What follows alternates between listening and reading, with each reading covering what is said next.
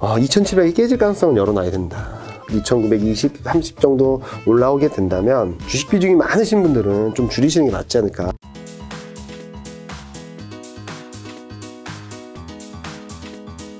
이런 여러 가지 들 때문에 사실 미국 증시도 굉장히 좀 많이 흔들렸잖아요. 많이 흔들리고 있죠. 야, 여기서 미국 증시 앞으로 좀 더 하락할 수 있을까요? 저는 좀 조심하자.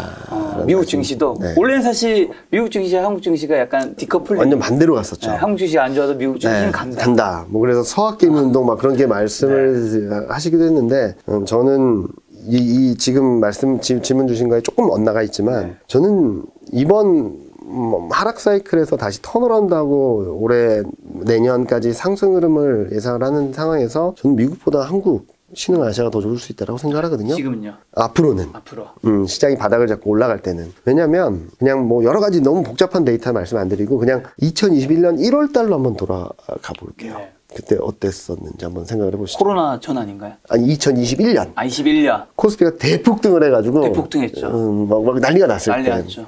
동학개미 운동, 미국 주식 필요 없어. 아, 한국 한국, 어, 우리나라 주식만 하고 있으면 뭐 다 돼. 라고 했었는데. 그때 파티는 거의 끝나고 있을 때였을 것 그쵸. 같긴 한데. 그때 모든 사람들이 한국 주식에 대한 관심이 네. 굉장히 많았었는데, 음, 제가 그때 뭐 좀 다른 얘기를 했었죠. 그러니까 지금 쉬었다 가야지 좀 더 멀리 갈 수 있다라고 생각을 하긴 했었는데, 그때 거꾸로 많은 사람들이 동학개미 뭐 이렇게 여기 했을 때, 그때 한국 주식 비중을 줄이고 미국 주식 비중을 늘렸다면 지금 더 좋은 그림을 만들어 놨었겠죠. 어, 지금은 좀 정반대의 상황이 아닌가라는 생각을 합니다. 너무 미국이나 뭐 외국, 어, 해외, 음, 미국 증시 쪽을 너무 많이 바라보고 있어서 저는 오히려 이렇게 한쪽으로 심리가 너무나도 쏠렸을 때 반대의 시각으로 좀 바라볼 때가 아닌가. 근데 다만 조금 조정은 있을 테니까 좀 매수 타임을 늦춘다 하더라도 지금은 미국보다는 한국, 네. 어, 그리고 중국 이런 쪽들을 바라봐야 된다는 말씀을 드리고 있고요. 자, 그러면 미국은 음, 왜 문제일까? 네. 아까 말씀드렸던 통화 정책, 음, 병목 현상, 소비, 소비. 다 미국이잖아요. 근데 미국이 왜 지금까지 올라왔을까를 본다면 아까 말씀드렸던 10월 초에 이렇게 이렇게 드라마틱하게 올라오기 시작했던 거는 아까 말씀드렸던 어, 바이든 행정부의 90일간의 총력전 음. 이때 출렁이었 이때까지 11월 달까지 쫙 올라간 것은 실적 시즌 네. 그리고 이렇게 출렁이었던 것은 음, 통화 정책에 대한 불안감 음. 그러다 다시 올라간 것은 연말 소비 시즌에 대한 기대였는데 네.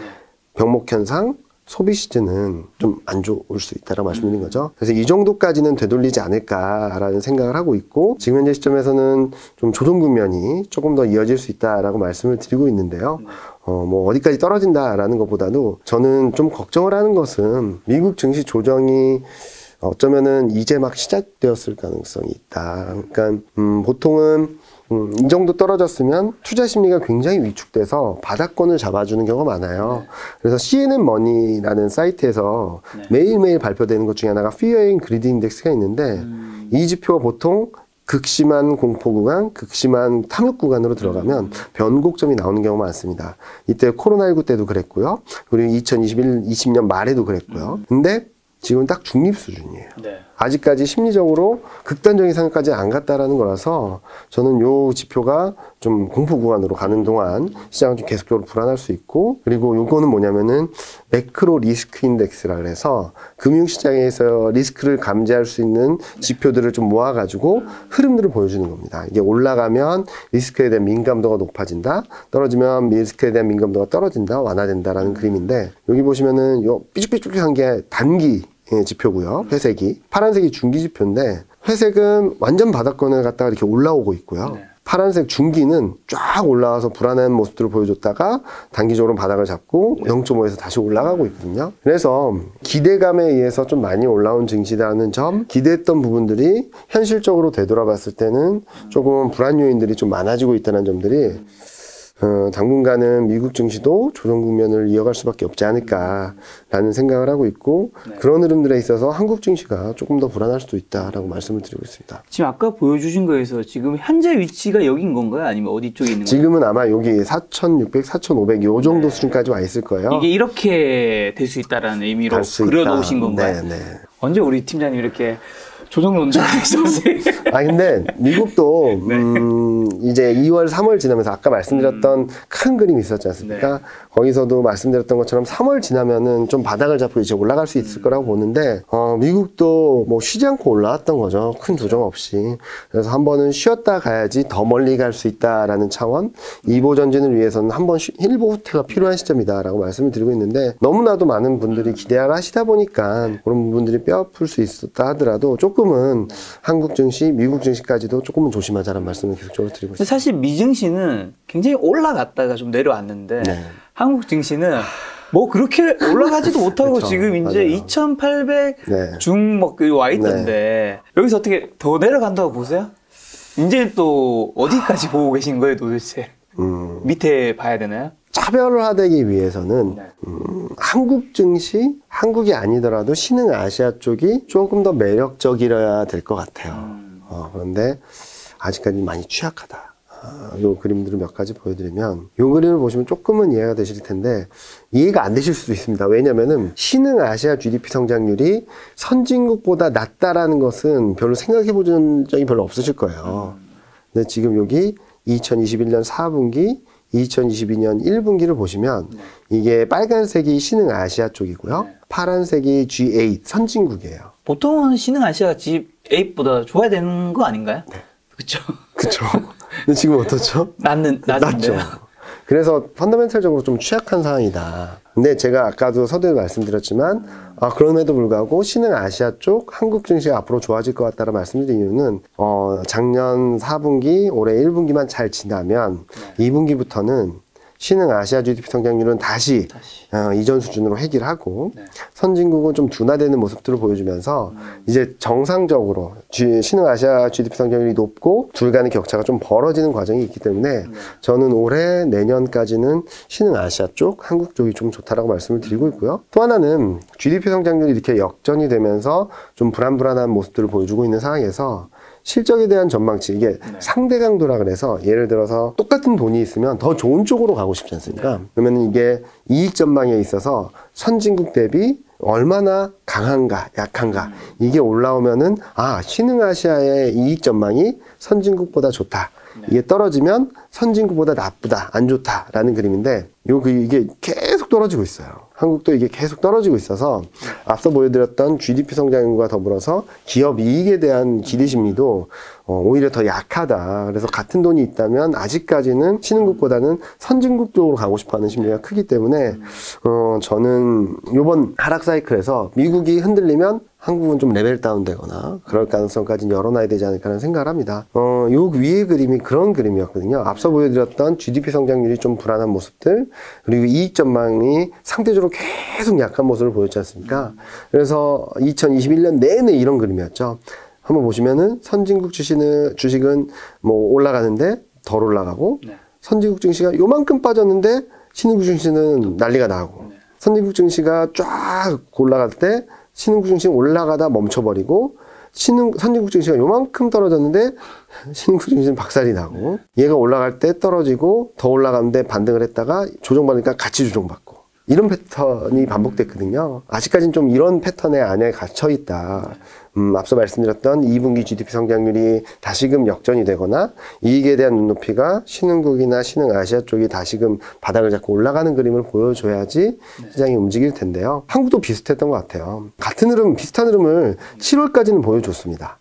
아, 그러다가 8월 들어서 반도체 업황 실적에 대한 불안감들이 들어오면서 확 꺾여버렸죠. 미국 증시는 사상 최고 갱신을 했는데 그래서 3,250에 있던 지수가 3,050까지 다이렉트로 200포인트가 떨어졌는데 많이 떨어진 겁니다. 그러다가 선진국 미국 증시가 사상 최고 갱신을 계속 이어가니까 한국도 또 좀 따라갔어요. 그러다가 3,200선을 회복했는데 미국 증시 한 5% 조정받으니까 한국 증시는 3,200에서 2,900으로 다이렉트로 레벨 다운된 적이 있었거든요. 이게 2021년 9월이었어요. 그리고 여기서 10월 달에는 아까 말씀드렸던 어, 병목 현상 완화, 어, 물리대란 해결하겠다라는 게 들어오면서 확 돌리긴 했는데 실적 시즌 되니까 또 미국은 사상 최고치, 한국 증시는 흘러내렸고, 어, 그리고 반, 사상 최고치는 또 하니까 또 따라가긴 했는데, 최근 먼저 조정을 받고 있는 상황이거든요. 아직까지 한국 증시만의, 신흥 아시아 증시만의 매력도, 어, 특히 펀더멘털적인 측면에서의 경기 성장률이나 이익에 대한 전망에 대한 매력도가, 어, 아직까지는 상대적으로 약하기 때문에, 그래서 제가 미국 증시가 이제 막 조정받은 듯한 모습들이 조금 더 부담스러운 상황이다라는 말씀을 드리고 있죠. 한국의 실적 시즌은 네. 좀 어떻게 보고 계세요? 그나마 네. 걱정했던 것보단 좀 괜찮다 정도로 말씀을 드릴 수 좋은 건. 아니란 뜻이네요, 또. 네, 그렇고 또 하나 좀 긍정적으로 볼 수 있는 것은 어, 예상했던 것보다 반도체가 괜찮을 것 같다. 어, 제가 올해 하반기에 시장의 레벨을 올려줄 수 있는 데에서의 원동력, 중심 동력은 저는 반도체라고 생각을 하거든요. 그런데 아직까지는 그동안에는 그 그림이 안 나왔어요. 어, 그런데 최근 업황이나 실적이나 이런 것들에 대한 기대감들이 조금씩 들어오고 있어서 좀 주목해서 볼 부분인데 요 그림만 보셔도 아 반도체가 진짜 좋아지고 있구나라는 것들을 이해하실 수 있는데 음 요게 회색이 4분기 이익 전망인데 쭉쭉쭉 떨어집니다.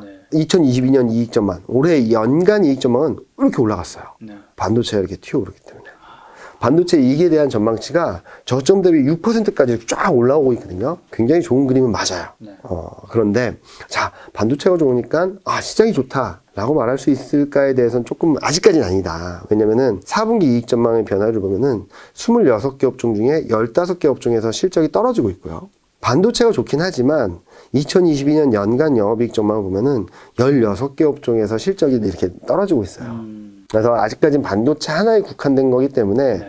실적 전망치가 올라온다고 해서 시장 전체적으로 좋은 그림은 아직 아니다.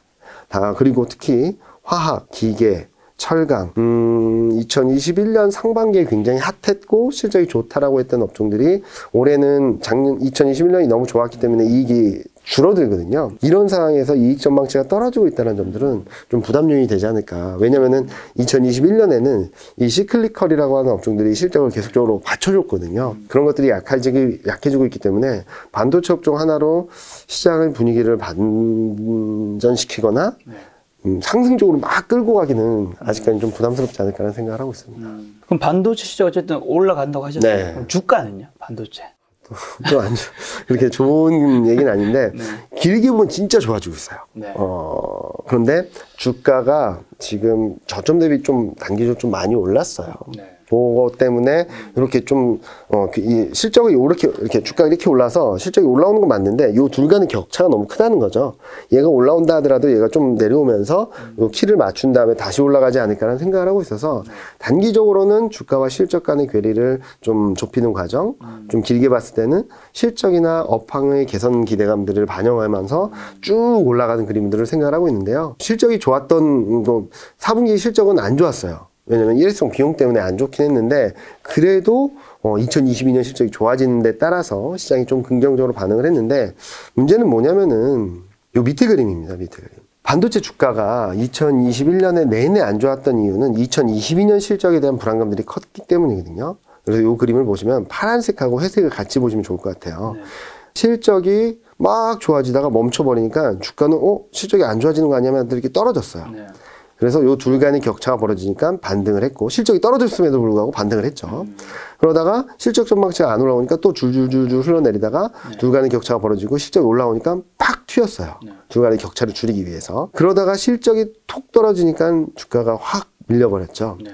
그리고 실적이 떨어지고 있음에도 불구하고 이 둘 간의 격차가 워낙 벌어지다 보니까 이게 좁혀지는 과정이 있었고 실적 레벨이 떨어지니까 또 같이 떨어지고 이러다가 반도체 주가가 저점에서 20%확 올라가 버렸어요. 네. 좀 많이 올라갔죠. 지금 2021년 4월 달부터 흐름과는 정반대예요.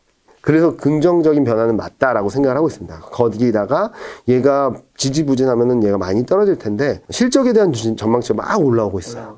그래서 조정폭은 제한적이다. 뭐 전저점을 깨고 막 밀려난다 그런 그림은 아니다 아니고 지금부터 반도체는 2022년의 주인공은 나야라는 것들을 보여주기 시작했는데 다만 요 괴리가 아직까지는 10% 포인트 정도 벌어져 있다 보니까 요 정도 조정받고 얘가 좀 올라오고 하면서 키가 맞춰진 다음에 다시금 올라가지 않을까라는 생각을 하고 있거든요. 그래서 반도체 업황 업황에 대한 전망이 좋아지고 있어요. 네. 음, 원래는 2023년 가야지 반도체 가격이 올라갈 거야 라는 전망이 대부분의 컨센서스였거든요. 근데 지금은 아 2022년 하반기에도 가능할 것 같아 라는 얘기를 하고 있어서 좀 긍정적인 그림들이 나오고 있고 이런 기대감들이 들어오다 보니까 실적에 대한 눈높이도 높아지고 있는 건 맞거든요 그리고 또 하나 제가 반도체를 음 다음 스텝 그러니까 조정 이후 다시 올라갈 때 시장의 중심을 잡아주고 갈 수 있다라고 말씀드린 이유는 마이크론이 실적을 발표할 때 굉장히 재밌는 얘기를 했어요. 그동안의 반도체 사이클은 이렇게 이렇게 이렇게 막 이렇게 움직였거든요. 네. 근데 반도체 사이클이 아닌 구조적으로 꾸준히 성장하는 쪽에서의 수요가 많이 높아지고 있다는 얘기를 하고 있어요. AI 그리고 전기차 이런 쪽의 수요가 꾸준히 높아지고 있다는 얘기를 하고 있어서 그 의미는 뭐냐면은 그동안에는 이쪽에 대한 수요가 약했기 때문에 반도체 사이클이 굉장히 컸는데 이게 올라오면은 반도체 사이클이 밋밋해지면서 이렇게 올라갈 수도 있다는 얘기가 하는 거거든요. 그래서 저는 이 그림이 만들어질지는 조금 더 지켜봐야 되고 확인해야 되겠지만 이 그림에 대한 기대감들이 2022년 하반기, 2023년에는 반도체 주가에 좀 반영이 되지 않을까라는 생각을 하고 있어서 이번 조정 국면이 있다면은 조금 더 레벨이 떨어졌을 때는 적극적으로 사야 되는 업종 중에 하나가 대표적으로 반도체다라고 반도체다. 말씀드리고 있습니다. 자 이런 실적도 뭐 중요한 하지만 사실 수급이라는 거를 아, 우리가 결코 뭐 무시할 수는 없잖아요. 거기다가 LG 에너지 네. 솔루션이라는 종목이 들어오기 때문에 엄청나게 핫하잖아요. 이게 작년에 증시가 많이 오- 못 오는 것 중에 하나가 맞아요. 너무 많은 IPO가, IPO가 있었기 있었다. 때문이다라는 네. 의견도 있던데 근데 끝판왕급인 대형 IPO가 지금 뭐? 거의 이거 상장하면 LG 학보다 더 크다면서요. 훨씬 크고 100조 잘하면 시가총액 2등 됩니다. 네. 아, 어떻게 될까? 이게 결국 이거를 살려면 딴 맞아요, 거를 팔긴 맞아요. 해야 될 거잖아요. 맞아요, 맞아요. 돈이 뭐 무한정 많은 건 아니니까. 어, 국내 유동성이 2021년 1분기 1월 달처럼 개인 투자자들이 자금이 들어오고 외국인들로 순매수하고 막 이런 그림이라면 네. 이런 물량들을 충격이 있긴 하겠지만 제한적인 상황에서 어, 엄청나게 몰려드는 유동성의 힘으로 극복을 할 수 있겠다라는 말씀을 드릴 수 있을 것 같아요. 네. 근데 지금은 어, 프로그램 매물이 출회될 수밖에 없는 1월, 2월이고요. 음, 그리고 공매도가 쌓일 수밖에 없는 1월, 2월입니다. 음. 매년 연말에는 공매도를 확 음, 배당락을 지나면은 배당만큼 비용을 지불해야 되기 때문에 매년 연말에 반복되는 패턴인데 short covering 매수가 들어왔다가 음. 1월 달에 공매도를 다시 막 쌓아가는 그림들을 반복해 왔어요. 그래서 지금도 보시면은 공매도를 막 쌓아가고 있거든요. 그러니까 기본적인 수급 상황이 그렇게 좋진 않아요. 거기다가 역대급 뭐 끝판왕이 오는데 네. 100조라고 가정을 했을 때는 이 종목이 시가총액 2등이 됩니다. 그러면은 삼성전자 같은 경우는 시가총액 비중이 1%포인트가 줄어들어 버려요. 음, 가만히 있어도. 그러면 어떻게 되냐? 지금 뭐 국내 주식형 펀드 그리고 ETF 이런 쪽들의 규모를 따지면은 그냥 러프하게 어, 따지면은 한 100조 정도가 된다라고 하거든요. 네. 그러면은 1%가 떨어지면 1조. 삼성전자를 팔아야 되는 거 아닌가요? 네. 그래야지 LG 에너지 솔루션을 살 수 있는 거죠. 그리고 근데 더 문제는 뭐냐면은 LG 에너지 솔루션이 더 오르면 네. 이 비중의 음, 삼성전자를 비롯한 다른 종목들이 비중이 줄어드는 폭은 더 커지겠죠. 그렇죠. 또 하나 그러다가 막 올라가다가 이, 이 종목이 떨어진다. 그러면 시가총액 규모가 너무 크기 때문에 시장에 미치는 영향도 만만치 않다는 거죠. 음. 그래서 당분간은 올라도 문제, 내려도 문제인 상황이 벌어질 수 있어서 네. 아마 2월 중순까지는 좀 수급적으로 좀 부담스러운 상황이 계속될 수 있다. 그래서 저도 요런 것까지 고려해서 1월, 2월 달까지는 뭐 대외 환경, 매크로 환경, 미국 증시가 조정받는 것도 있지만 어, 한국 증시도 여기서 잘 버티기는 좀 어려운 환경이다라는 말씀을 드리고 있어서요. 이런 것들을 확인하고 대응하셔도 절대 늦지 않는다. 오히려 확인하고 대응하는 게 좀 더 싸게 살 수 있는 기회가 될 수 있다라는 말씀을 드리고 있습니다. 아, 팀장님과 지금 이제 인터뷰가 한 시간 정도 지났지만 좋은 얘기는 하나도 못 하나도 들은 것 없죠. 같아요. 전반적인 향후 시장 흐름 뭐 어떻게 좀 전망하고 계신가요? 좋지 않게 볼 것 같긴 합니다만. 반등은 나올 수 있어요. 반등이 나온다고 해서 추세 반전이냐 그것까지는 좀 쉽지 않다라는 말씀을 드리고 있고요. 제가 이 그림을 보여 드리면은 뭐 어떻게 아니, 안 돼! 아직은 아닙니다. 안돼 아직은 하는 장면이죠. 아직은 아닙니다. 아직은 아닙니다. 어, 이건 뭐냐면은 앞서 말씀드렸던 그런 흐름들의 개괄적인 그림이거든요. 보통은 경기가 이만큼 좋아질 거야라고 생각을 했던 게 어, 어, 어, 어, 점점 좋아진다라고 생각할 때 주가가 이렇게 날아가잖아요. 아마 미국 증시가 이랬던 것 같아요. 네. 그런데 어, 현실적으로 보니까 어 우리가 이렇게 기대를 했었는데 이렇게 기대를 했던 게 더 올라가면 증시 조정 별로 안 받고 이렇게 올라가겠죠. 근데 이렇게 기대했던 게 어 잠깐만 현실을 보니까 우리가 이 정도 기대했었는데 이 정도밖에 안 되네. 그러면 이렇게 올라갔던 증시는 이렇게 되돌릴 수밖에 없다라고 보고 있거든요. 그렇다고 해서 경기가 이렇게 꺾여서 막 내려가는 그림은 아니라는 거예요. 이렇게 올라왔던 증시가 되돌리는 과정인데 앞서 말씀드렸던 상대적으로 취약한 한국, 어, 뭐 신흥 아시아 증시가 좀 더 힘들 수 있다. 특히 한국은 수급적인 부담까지 가중되고 있기 때문에 좀 레벨 다운될 가능성을 열어놓고 보자라는 말씀을 드리고 있거든요. 네. 음, 그래서 어, 저는 이런 그림을 생각을 하고 있어요. 네. 그러니까 좀 단기적으로 좀 더 밀려날 수 있는 그림을 생각하는데 2800선대를 왔다 갔다 할 때는 단기적으로 한 2900선 돌파 시도는 가능하다라고 생각하고 있습니다. 기술적 반응이 나올 거라고 보고 있는데 그냥 음, just 기주, 기술적 반등이라고 생각하고 있어요. 싸기 때문에 또는 12개월 forward PER이라든지 PBR, valuation적인 측면에서 좀 의미 있는 지수대이기 때문에 기술적 반등은 나올 수 있는데 그때가 저는 정리해야 될 수. 정리하시는 게 낫지 않을까. 2600까지도 보고 계신 의미 아닌가 이 저희가 작년 11월 달에 어, 공식적인 연간 전망을 하면서 제시했던 하단이 2610입니다. 그래서 제가 계속적으로 반등시 비중을 줄이, 아, 형, 주식 비중을 줄이고 현금 비중을 확보하자는 말씀을 드리는데요. 꼭 그렇다고 해서 2610까지 떨어진다는 건 아니에요. 근데 제가 말씀드리고 싶었던 것은, 아, 2700이 깨질 가능성은 열어놔야 된다. 어, 왜냐면은 그렇게 본다면은 음, 제가 그동안 말씀드렸던 3천선 그러니까 10월 달부터 말씀드렸으니까 3,050선부터 말씀을 드렸는데 3,050 대비 10% 이상 하락룸이 있다면 음, 피하고 가야 될 소나기다라는 말씀을 드리고 싶었던 거거든요. 그래서 이번에도 2,900, 2,920, 30 정도 올라오게 된다면 주식 비중이 많으신 분들은 좀 줄이시는 게 맞지 않을까. 특히 레버리지를 일으키시는 분들이거나 그런 분들은 철저히 리스크 관리에 집중을 해야 될 시점이다라고 말씀드리고 있고요. 그렇게 되면은 저는 반전은 분명히 나올 수 있다라고 생각합니다. 앞서 말씀드렸던 3월 정도로 생각하고 있고 그렇게 되면 저는 또다시 한번 음, 그때도 뭐 상황을 좀 더 봐야 되겠죠. 진짜로 제가 생각했던 흐름들 그런 가정들이 현실화되는지 여부를 봐야 되겠는데 그때 되면 다시 한번 strong buy를 외칠 수 있는 시점이 되지 않을까라는 생각을 하고 있어서 그때까지는 좀 조심하자. 어, 너무 어, 빠르게 움직이기보다는 확인하고 대응하고 확인하고 음, 좀 매수 타임을 늦추고 어, 지금 뭐 반등을 한다면 따라가기보다는 리스크 관리를 하려는 기회로 삼고 이렇게 보시면 좋을 것 같고요.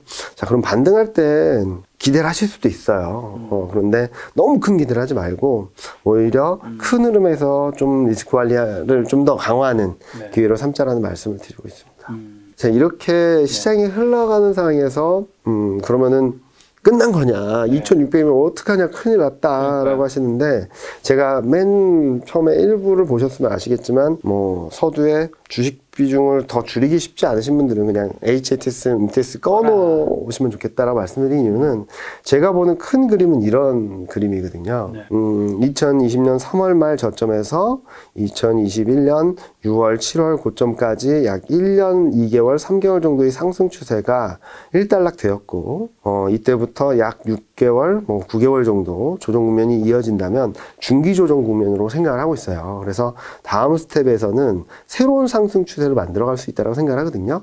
그런데 요게 너무 뼈 아프다는 거죠. 그리고 굉장히 힘들다는 거죠. 그래서 요걸 어떻게든 리스크 관리를 통해서 최소한의 손실, 최대한의 방어를 하고 요때가 나왔을 때 적극적으로 대응을 해서 요때 반전 포인트를 좀 앞당기고 내 수익률을 극대화하는 전략으로 가져가자는 말씀을 드리는 거거든요. 그래서 요 구간이 좀 더 이어질 수 있으니까 당분간은 리스크 관리를 하시자라는 말씀을 드리고 있고 아마 3월 뭐 4월 지나면서부터는 좀 시장이 좀 빠르게 움직일 수 있을 것 같아요. 그때 어 조금 더 어, 적극적인 대응 전략을 말씀을 드리도록 하겠습니다. 아, 2월 말쯤 나왔을 때는 조금 더 긍정적인 말씀을 드릴 수 있지 않을까라는 기대를 하면서 아직까지는 좀 조심하자라는 쪽으로 어, 강조드리고 싶습니다. 지금 1분기를 올해 좀 저점으로는 보고 계신 것 같네요. 네, 1분기는 저점이 가능성이 높다. 네. 그리고 좀 크게 본다면 1분기는 위기와 기회가 공존하는 구간이니까 아직까지 2800선 중초반 뭐 반등을 한다면 2900선대에서는 하락 room이 아직까지는 크다는 거죠. 1분기 전체를 봤을 때. 그래서 downside risk에 대한 걱정들, 그 경계감, 어, 리스크 관리를 하시는 가운데 이제 2월, 3월 지나면서 지수 레벨이 떨어지면 떨어질수록 거꾸로 말하면 기회가 온다. 아, 라고도 볼 수 있겠죠. 그럼 그에 맞는 좀 대응 전략 도 추가적으로 더 말씀해 주실 게 있다면.